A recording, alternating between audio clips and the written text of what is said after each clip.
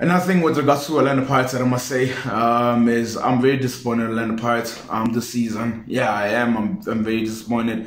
I'm disappointed because I expected so much. That's why I'm so disappointed. I'm disappointed because I look at that squad. It's a very decent squad. It's a very beautiful squad. You look at the squad depth as well. This squad should have been able to push Mamelodi Sundowns all the way.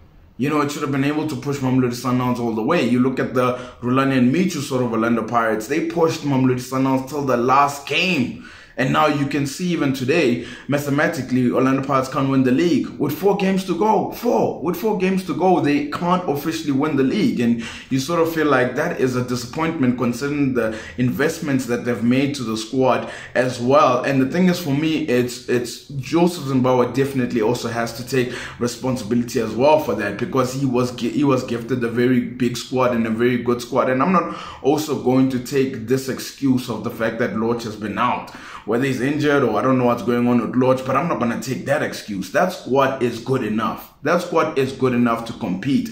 And the fact that they're not being able to sort of compete till the last day of the season for the league is sort of disappointing. The way that they crashed out of the Nedbank Cup as well. And you also consider the Confederations Cup, the league, the in the in the group stage group phase, they should have sealed number one, but they were not able to. And now they find themselves facing Raja Casablanca, which has been a really informed side in, in the Confederations Cup. So that's going to be a tough one as well. But I think for next season, I think Orlando Pirates need to seriously re-strategize in terms of how they go about it and how they get back to a place where they're able to uh, to compete against Mamelodi Sundowns that they can go all the way to the last game of the season. You can even see the improvements that is being made at the likes of Amazulu as well. So it's going to be a big campaign next season as well. But I think overall, when you look at this season, I am massively disappointed in the way Orlando Pirates performed. Um, and the only way, the only reason why I'm disappointed is because I expected so much.